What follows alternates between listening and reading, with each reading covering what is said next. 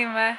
Α, είπαμε με τη φίλη μου τη Σταυρούλα να πάμε να δούμε χιόνι γιατί βλέπαμε σε stories και σε διάφορα ε, και στο TikTok βασικά ότι είχαν έρθει άνθρωποι στο βορρά του Λουξεμβούργου και υπήρχε πάρα πολύ χιόνι και είπαμε ε δεν γίνεται, πρέπει να πάμε και oh my god είναι τόσο χιονισμένα.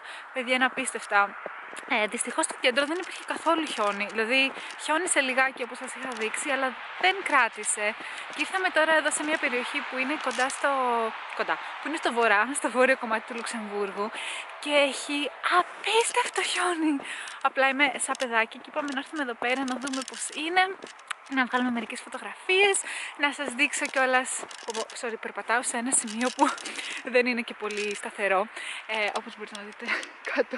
Ε, είναι, νομίζω από κάτω είναι χώμα, οπότε δεν είναι flat και γι' αυτό το, το χιόνι είναι λίγο... Ε, και ναι, έχω κατενθουσιαστεί. Είναι όλα, όλα πράσινα και είναι απίστευτο. Και τώρα έχουμε έρθει σε μια, όπως σας έδειξα, ανοιχτή έτσι περιοχή και είχαν έρθει άνθρωποι, αυτός είναι ένας χιονάνθρωπος ο οποίος έχει πεθάνει ε, και έχουν φτιάξει πάρα πολλούς χιονάνθρωπους βασικά. Ε, και ναι, oh my god. Ε, το χιόνι είναι full βαθύ έτσι. Ναι, Όπα. αν και τώρα τα χέρια μου έχουν αρχίσει και παγώνουνε. Ε, αλλά παιδιά, είναι τόσο τόσο όμορφα. Βλέπετε, είναι απλά ένα απίστευτο λευκό κομμάτι και επίσης μου αρέσει πάρα πολύ που έχουν και τα δέντρα, έχει μείνει, έχει μείνει το χιόνι πίσω ε, πάνω στα δέντρα και είναι απλά φανταστικά, σαν παραμυθένιο τοπίο ένα πράγμα.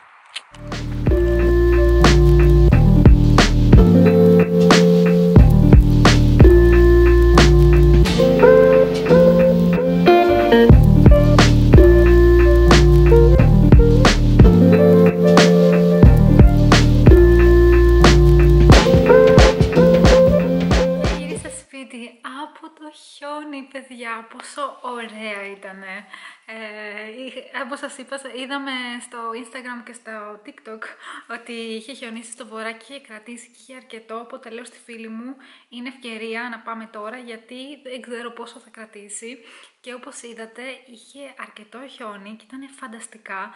Ε, από πέρυσι, από τον Καναδά είχα να δω τόσο χιόνι ε, και ήταν τόσο μα τόσο όμορφα Κρύωσε βέβαια η μητούλα μου, νομίζω στο βίντεο θα δείτε ότι είναι κατακόκκινη, ή είδατε ότι είναι κατακόκκινη, γενικότερα ε, κοκκινίζει πάρα πολύ γρήγορα. Και τώρα έφτασα σπίτι στη ζεστούλα και έχω μάθημα γαλλικών ε, να κάνω. Um, γενικότερα το αποφασίσαμε τελευταία στιγμή για να ανέβουμε στο βορρά. Ε, ήταν να πάμε στο κέντρο να κάνουμε βολτούλα, αλλά τις κάνω, τις λέω, τις φίλες μου, τις λέω, μήπως θες να πάμε στο βορρά; Και μου κάνει θες, της λέω εγώ θέλω, εσύ θες. Και μου λέει θέλω και με φάση, α τέλεια τέλεια. Οπότε πήγαμε και καλά κάναμε γιατί ήταν φανταστικά. Πόσες φορές το έχω πει δεν ξέρω. Ήταν ενθουσιαστικά. Επίσης έκανα τα μαλλιά μου έτσι, όπως μπορείτε να δείτε. Ε, άμα θυμάστε σε, σε προηγούμενα βίντεος, παίζει πριν από τρία χρόνια, τα έκανα τα μαλλιά μου έτσι συνέχεια που είναι δύο πλεξούδες και μετά τα, τα πιάνω σε κότσο πίσω είναι πάρα πολύ βολικά. Άμα είναι τα μαλλιά σας δεύτερη-τρίτη μέρα που είναι λίγο έτσι, έχουν τη λιπαρότητα, κάθονται μια χαρά, δεν φαίνεται κιόλας η λιπαρότητα, γιατί σε αυτήν την κατάσταση είναι τα μαλλιά μου. Και επίσης άμα φυσάει είναι πολύ ιδανικό γιατί όλα είναι πιασμένα, οπότε ο αέρας δεν έχει να ε, φέρει μαλλιά μπροστά στα, στο πρόσωπο και είναι μια χαρά. Anyways, η ώρα είναι, όπα, και 50, σε 10 λεπτά έχω το μάθημα, οπότε πάω να ετοιμαστώ για να ξεκινήσω. Αχ, λοιπόν, λοιπόν, 2021 παιδιά, 2021 και στο προηγούμενο βίντεο μίλησα για το πώς να κάνουμε έναν καλό απολογισμό μέσα στο, για το 2020 και σήμερα σας ρώτησα και στο Instagram αν θα σας ενδιέφερε να δείτε πώς οργάνωσα τους στόχους μου για το 2021 και πώς είμαι έτοιμη, έτοιμη βασικά, ε, για να υποδεχθώ, βασικά υποδέχτηκα ήδη αυτό το χρόνο και μου είπατε περισσότερες ότι θέλατε να δείτε κάτι τέτοιο στο συγκεκριμένο βίντεο και μπορώ να σας χαλάσω εγώ χατήρι. Μπορώ. Δεν μπορώ. Ε, γενικότερα είναι ένα θέμα το οποίο με, με ενδιαφέρει αρκετά. Πάντα ψάχνω τρόπους να προσπαθώ να είμαι πιο αποδοτική μέσα στην ημέρα μου, μέσα στο χρόνο, στους μήνες, στα έτη. Και αυτό έχει αποτέλεσμα να θεωρώ ότι η αρχή του χρόνου είναι η καλύτερη συσταγωγικά αρχή για να δούμε τι θέλουμε να κάνουμε σε ένα, ένα συγκεκριμένο χρονικό διάστημα. Φυσικά, κατά τη διάρκεια του χρόνου μέσα, Υπάρχουν τα check-ins που λέμε που βλέπουμε πώς έχει πάει αυτός ο χρόνος, κάνουμε τον ε, απολογισμό μας για τους μήνες που έχουν περάσει, τι καταφέραμε, τι δεν καταφέραμε και τι μπορούμε να προσαρμόσουμε. Όμως θεωρώ ότι η αρχή του έτους είναι μία φάση στην οποία βρισκόμαστε, ε, θεωρώ ή η αρχή ή εκεί μετά τις διακοπές του καλοκαιριού είναι η καλύτερη στιγμή για να αναθεωρήσουμε ή να βάλουμε καινούριους στόχους. Έτσι, είμαι εδώ σήμερα να σας μιλήσω λίγο περισσότερο για το πώς εγώ οργάνωσα μέσα σε αυτό το τετράδιο, μπορείτε να δείτε υπάρχει πράγμα, πώς οργάνωσα τους στόχους μου για το 2021. Λοιπόν, να ξεκινήσω λέγοντας βασικά ότι για μένα αυτό μπορεί να είναι κάτι το οποίο με βοηθάει να είμαι συγκεντρωμένη στο τι θέλω να κάνω. Παρ' όλα αυτά δεν σημαίνει ότι επειδή είναι Ιανουάριος, είναι αρχή του, χρόνου, του καινούριου χρόνου, ότι πρέπει όλα να τα έχουμε τακτοποιημένα στο κεφάλι μας και ξέρουμε ότι θέλουμε να κάνουμε A, B, C, D.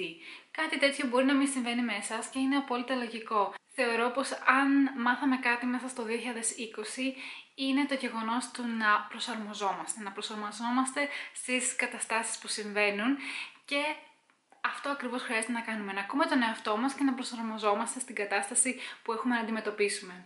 Έτσι, μην νιώσετε την πίεση ότι επειδή είναι αρχή του χρόνου πρέπει όλα να τα έχετε λύσει. Κάτι τέτοιο δεν χρειάζεται. Το πολύ σημαντικό είναι να ζούμε τη ζωή μας και να είμαστε καλά. Ο καθένας μας ορίζει διαφορετικά το τι σημαίνει καλά. Οπότε μην νιώσετε την πίεση ότι επειδή τώρα ξεκινάει ο χρόνος πρέπει όλα να τα έχουμε τακτοποιημένα. Κάτι τέτοιο σας το λέω και εγώ από εμπειρία γιατί πολλά χρόνια δεν έκανα τα resolutions που λέγανε όλοι Oh, new year, new ε, resolutions Απλά το τελευταίο διάστημα ήθελα εγώ να φέρω μια αλλαγή στη ζωή μου και να προσαρμόσω ε, κάποια πράγματα διαφορετικά στο πώς, όχι να προσαρμόσω, να αλλάξω κάποια πράγματα ε, στο πώς τα αντιμετωπίζω και είδα ότι θέτοντας στόχους και ειδικά στην αρχή του χρόνου με βοηθάει να έχω μια καλύτερη ροή κατά τη διάρκεια του έτους. Κάτι το οποίο βοηθάει αρκετά για να μείνουμε οργανωμένοι με τους στόχους μας είναι να τους κατηγοριοποιήσουμε. Και τι εννοώ, να βάλουμε κατηγορίες στο τι θέλουμε να καταφέρουμε. Για παράδειγμα, πράγματα τα οποία θέλουμε να καταφέρουμε σε σχέση με τον εαυτό μας, με τη δουλειά μας, με τους φίλους μας, οικογένεια, τη ζωή γενικά. Έτσι εγώ για το 2021 κατέληξα να έχω 13 κατηγορίες, τις οποίες δεν είμαι σίγουρη για τον αριθμό 13, Anyways, ε, αυτές λοιπόν ήταν οι κατηγορίες που κατέληξα να έχω, 13, και άρχισα να προσδιορίζω πιο συγκεκριμένα τι θέλω να κάνω. Αυτές οι κατηγορίες λοιπόν για μένα ήταν self-development, η ανάπτυξη του εαυτού μας. Αυτό έχει να κάνει με μένα, εγώ πώς θέλω να, να εξελιχθώ μέσα στη διάρκεια του έτους σε σχέση με εμένα, εμένα και καθαρά εμένα. Μετά ήταν κάποιοι στόχοι που έβαλα για το YouTube και το Instagram γενικότερα τα social media. Επόμενος στόχος ήταν σε σχέση με την καριέρα μου. Επόμενη κατηγορία είναι οι σχέσεις, οι σχέσεις που έχω είτε με το φίλο μου, είτε με την οικογένειά μου, είτε με τις φίλες μου. Επόμενη κατηγορία τις διαβάζω στο τετραδιάκι. Επόμενο κομμάτι είναι το οικονομικό κομμάτι. Επόμενη κατηγορία ήταν το έβαλα ως life και έχει να κάνει σε σχέση με τη ζωή μου, τι θέλω να βελτιώσω. Πάει λίγο στο self-development, αλλά το έκανα ως ξεχωριστή κατηγορία. Μετά έχω ταξίδια και αυτό θα δούμε πώς θα πάει το 2021. Ε, ρουτίνα και συνήθειες που έχω, που θέλω να αναπτύξω ή θέλω να σταματήσω να κάνω. Ε, φαγητό, για μένα είναι πολύ σημαντικό. Η, τα σπορ που κάνω και η άσκηση γενικά για το σώμα μου. Affirmations τα οποία ε, έχω για τον εαυτό μου και θέλω να θυμάμαι κατά τη διάρκεια του χρόνου. Και οι δύο τελευταίες κατηγορίες είναι healthy living και My Footprint in the World. Αυτές είναι δύο καινούριες κατηγορίες. Healthy Living ουσιαστικά επίσης μπορεί να καταταχθεί στο κομμάτι του Habits και Routines και το κομμάτι του ε, My Footprint in the World σημαίνει πως εγώ βρίσκομαι σε, αυτό το, σε αυτή τη γη, τι κάνω για να βοηθήσω τον πλανήτη και να έχω ένα θετικό αποτέλεσμα. Και πάμε να, το δούμε, να δούμε τις κατηγορίες, όχι όλες, κάποιες κατηγορίες, λίγο πιο συγκεκριμένα για να σας βοηθήσω ίσως ε, και εσάς για το πώς μπορείτε να θέσετε τους στόχους σας. Κάνοντας κάτι αντίστοιχο και τον προηγούμενο χρόνο, αυτό που παρατήρησα είναι ότι είναι πάρα πολύ σημαντικό λοιπόν να γράφουμε κάτω τους στόχους. Και όταν θα πάτε να γράψετε τους στόχους σας, θα σας προτείνω να τους κάνετε πολύ συγκεκριμένους. Για παράδειγμα, στην κατηγορία Self-Development ή Ανάπτυξη του εαυτού μου, έβαλα ότι θέλω να διαβάσω περισσότερα βιβλία. Έχω πετύχει τον ένα σε εισαγωγικά στόχο να καταγράψω τι θέλω να κάνω, θέλω να διαβάσω περισσότερα βιβλία, αλλά κάτι τέτοιο είναι αρκετά γενικό. Καλό είναι να προσδιορίσουμε πόσα βιβλία θέλουμε να διαβάσουμε μέσα στο χρόνο. Ή, για παράδειγμα, εγώ αυτό που έκανα, είπα ότι θέλω να διαβάσω τουλάχιστον δύο βιβλία μέσα στο, σε ένα μήνα. Που σημαίνει ότι κατά τη διάρκεια του χρόνου, στο ένα έτος, θέλω να διαβάσω 24 βιβλία. Μεταξύ μας, 24 βιβλία δεν θα διαβάσω, δεν πιστεύω ότι θα διαβάσω. Νομίζω περίπου διαβάζω ένα βιβλίο το μήνα, το οποίο για πολλούς μπορεί να είναι πολύ λίγο, για κάποιους μπορεί να είναι πολύ, δεν νομίζω ότι είναι πολύ βασικά. Είναι ok ένα βιβλίο το μήνα, δεν είμαι βιβλιοφάγος, οπότε για μένα ένας τέτοιος στόχος είναι ρεαλιστικός. Έβαλα δύο σε περίπτωση που το καταφέρω. Ήθελα λίγο να δοκιμάσω τον εαυτό μου. Άλλο ένα κομμάτι στο self-development που θέλω να σας ε, ρωτήσω βασικά είναι γιατί είδα ότι το τελευταίο χρόνο, ε, κατά τη διάρκεια που πήγαινα στη δουλειά, άκουγα πάρα πολλά podcast και μου άρεσε πάρα πολύ. Άκουσα κάποια podcast για relationships, για σχέσεις, που με βοήθησαν αρκετά να δω κάποια πράγματα λίγο πιο διαφορετικά. Επίσης, ένα φοβερό podcast που ε, άκουσα ήταν το 13 Minutes to the Moon από BBC που είναι 13 λεπτά για το φεγγάρι που ε, μίλαγε υπέροχο υπέροχο podcast για, ε, για την ιστορία του Apollo 8 και Apollo 13 ε, πάρα πάρα πολύ ωραίο και είδα ότι πήγαινα με χαρά στη δουλειά και αυτό κατάλαβα ότι με βοήθησε πάρα πολύ ψυχολογικά. Οπότε αν έχετε ακούσει κάποιο podcast που σας άρεσε ή κάποιο άλλο βιβλίο βασικά ε, που έχετε διαβάσει και προτείνετε, Γράψτε το όμως στα σχόλια από κάτω για να το τσεκάρω.